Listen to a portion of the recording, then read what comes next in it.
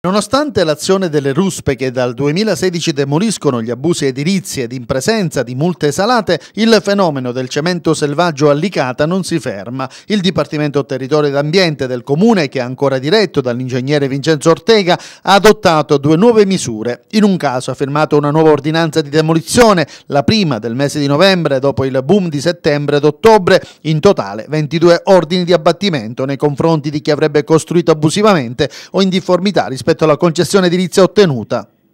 Ai titolari dello stabile in questione sono stati concessi 90 giorni di tempo per demolire l'abuso. Il secondo provvedimento è una maxi multa, ben 20.000 euro, elevata nei confronti di un licatese che non avrebbe ottemperato entro i 90 giorni di tempo previsti dalla legge l'ingiunzione di demolizione. Sono 13 le persone denunciate nel mese di ottobre alla Procura della Repubblica di Agrigento per avere violato le norme vigenti in materia edilizia, praticamente un record. Accertamenti sono stati disposti per quattro fabbricati a settembre settembre erano state firmate ben nove ordinanze di demolizione in 30 giorni. Il pugno duro della squadra anti-abusivismo della Polizia Municipale sembrava avere scoraggiato quei cittadini che, nonostante la lotta serrata al cemento selvaggio, culminata con l'azione delle ruspe che stanno demolendo i villini realizzati senza licenza edilizia, continuano a costruire manufatti in assenza di autorizzazione o in difformità rispetto a quanto autorizzato dal competente ufficio tecnico. Oltre al controllo del territorio molto vasto e articolato, sono in azione le ruspe del del Consorzio di Imprese Compact di Roma